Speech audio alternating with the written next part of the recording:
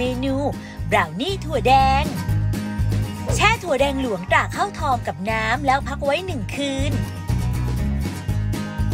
นำถั่วแดงหลวงตราข้าวทองที่แช่ไว้ ใส่ลงในภาชนะ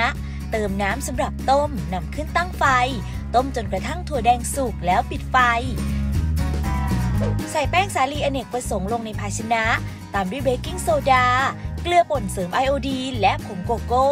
เคล้าส่วนผสมทั้งหมดให้เข้ากัน เตรียมไว้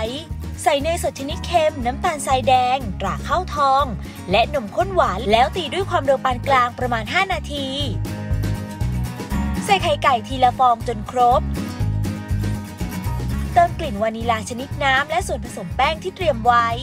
ตีผสมจนเข้ากันแล้วปิดเครื่อง